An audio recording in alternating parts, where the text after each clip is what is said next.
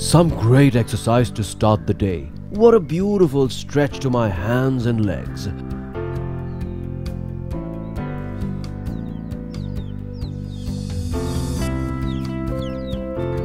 Dad, what happened? Vivek, I'm experiencing this chest pain nowadays. It seems to persist.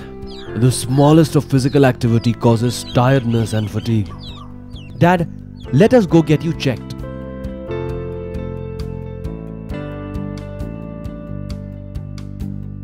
So, Vivek, tell me what brings you here. Doctor, my father and me were walking out in the park when he started experiencing chest pain. He also regularly experiences fatigue and tiredness. Oh, Mr. Govind, what is your age, may I know? I turned uh, 70 this year, doctor. Okay, Mr. Govind, let's get you checked. Could you please come forward?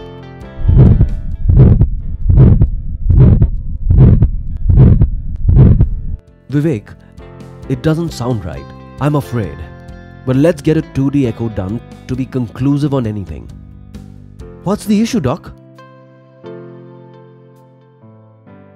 This is how a healthy beating heart should sound.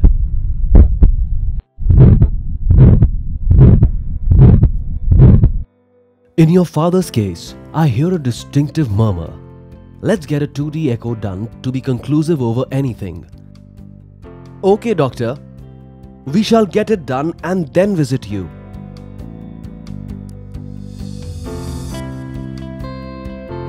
Dr. Verma, this is my dad's 2D echo report. Mr. Govind, you're suffering through a condition called severe aortic stenosis. Okay, doctor. Uh, is this something serious? Aortic stenosis is a narrowing of aortic valve opening. Aortic stenosis restricts the blood flow from the left ventricle to the aorta. Aorta is the main artery that carries blood away from your heart to the rest of your body. Oh, I see. Um, how does this happen, doctor? Aortic valves regulate the flow of blood from the left ventricle to the aorta. Due to aging, common calcium and scarring damage the valve and restricts the amount of blood flowing through the valve. So, what's next, doctor? Mr. Govind would have to go in for a valve replacement procedure. And how is it done? It is done through open heart surgery or TAVR or TAVI. I know open heart surgery, but what is TAVR? Transcatheter aortic valve implantation or replacement, or referred as TAVR or TAVI for short, does not require heart surgery.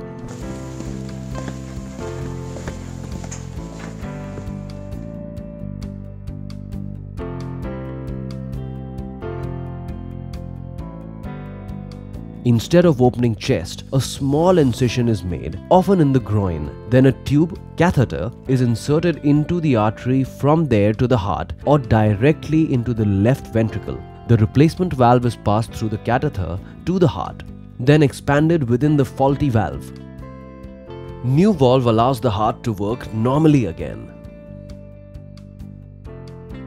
Entire planning of cases done by heart team led by cardiologist with the help of CT.